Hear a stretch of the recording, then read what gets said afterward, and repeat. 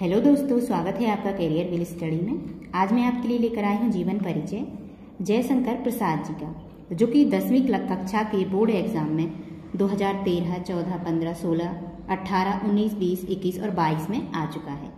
ठीक है? सबसे पहले हम हेडिंग डालेंगे जीवन परिचय और उसमें लिखेंगे हिंदी साहित्य के महान कवि नाटककार कहानीकार एवं निबंधकार श्री जयशंकर प्रसाद जी का जन्म सन अठारह ईस्वी में काशी के प्रसिद्ध सुगनी साहू परिवार में हुआ था।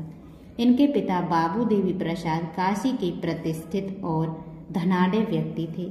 इनकी प्रारंभिक शिक्षा घर पर ही हुई तथा स्वाध्याय से ही इन्होंने अंग्रेज़ी, संस्कृत, उर्दू और फारसी का श्रेष्ठ ज्ञान प्राप्त किया और साथ ही वेद पुराण इतिहास, दर्शन आदि का भी गहन अध्ययन किया। माता पिता तथा बड़े भाई की मृत्यु हो जाने पर इन्होंने व्यवसाय और परिवार का उत्तरदायित्व संभाला ही था कि युवावस्था के पूर्व ही भाभी और एक के बाद दूसरी पत्नी की मृत्यु से इनके ऊपर विपत्तियों का पहाड़ ही टूट पड़ा। फलतः वैभव के पालने में झूलता इनका परिवार ऋण के बोझ से दब गया। इनको विषम परिस्थितियों से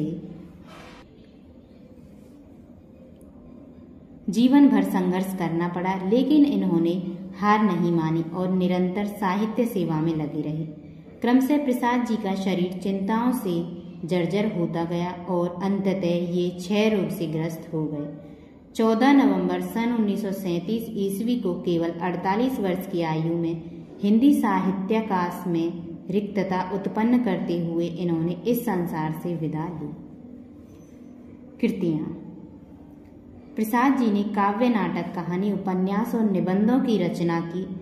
इनकी प्रमुख कृतियों का विवरण निम्नलिखित है।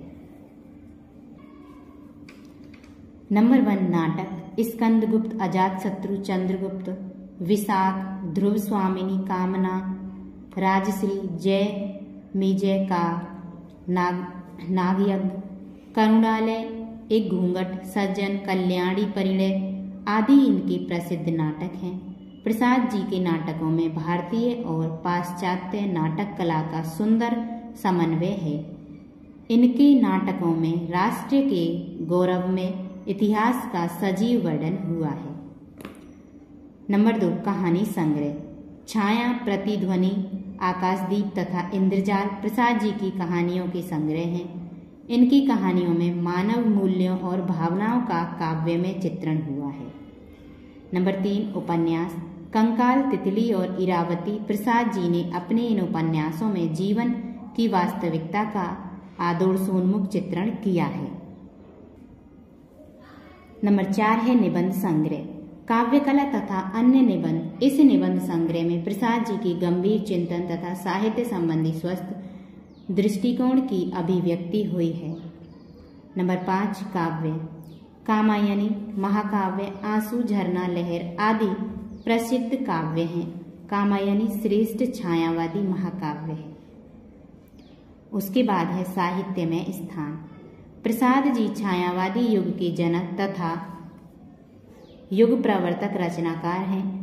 बहुमुखी प्रतिभा के कारण इन्होंने मौलिक नाटक, श्रेष्ठ कहानियाँ, उत्कृष्ट निबंध और उपन्यास लिखकर हिंदी साहित्य को हिंदी साहित्य के कोष की श्री वृद्धि की है। आधुनिक हिंदी के मूर्धन्य साहित्यकारों में प्रसाद जी का विशिष्ट स्थान है।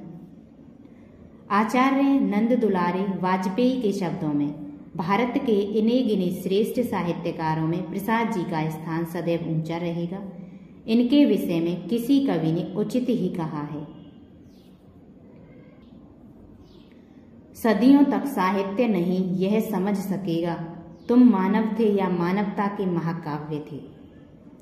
इसी के साथ हमारा जीवन परिचय समाप्त हो चुका है। उम्मीद करती हूँ वीडियो आपको पसंद आई होगी। अगर वीडियो अच्छी लगी तो वीडियो को लाइक करें और हमारे चैनल को सब्सक्राइब करें। मिलते हैं नेक्स्ट वीडियो में एक नए जीवन परिचय के साथ। धन्यवाद।